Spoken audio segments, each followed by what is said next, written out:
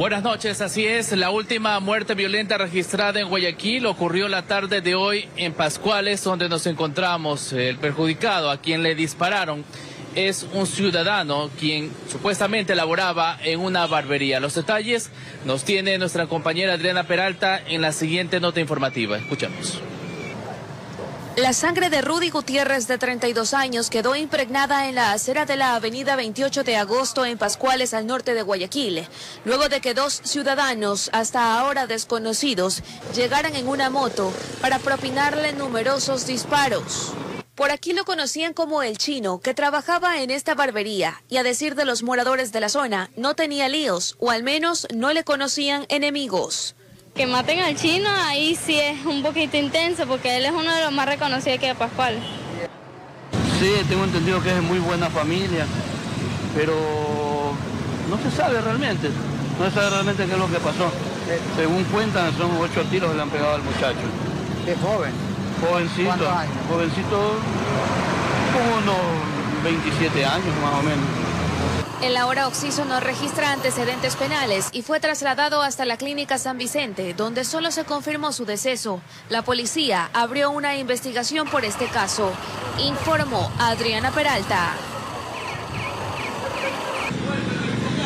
Así es, esa muerte violenta ocurrió aproximadamente a las 17 horas con 30 minutos cuando una persona que supuestamente laboraba en ese local fue baleada por sujetos que llegaron en una motocicleta negra.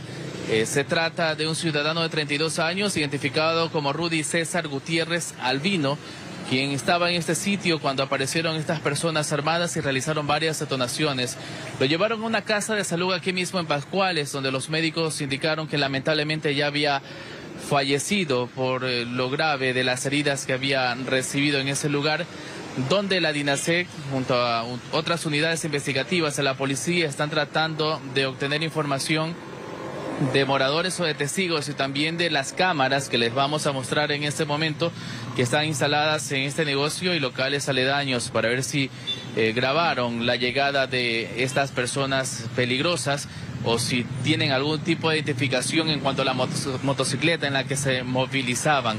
Es lo que ocurrió aquí en la tarde en el sector de Pascuales, en una zona comercial muy transitada, donde afortunadamente no hubo más personas heridas. Lo que sí trata la policía de investigar y atar cabos es de que si lo que ocurrió aquí con el señor de la barbería tendría relación con otro caso similar que ocurrió en las orquídeas el día de ayer y la semana anterior otro en Pascuales con personas relacionadas a estos negocios que supuestamente estarían siendo extorsionadas por agrupaciones delictivas que les estarían pidiendo la famosa vacuna para que puedan trabajar. Esperemos algunos resultados de la policía en las próximas horas, alguna rueda de prensa o información oficial que se pueda brindar de parte de la institución del orden. Adelante, Ana, buenas noches. Muy bien, Charlie, muchísimas gracias por este informe.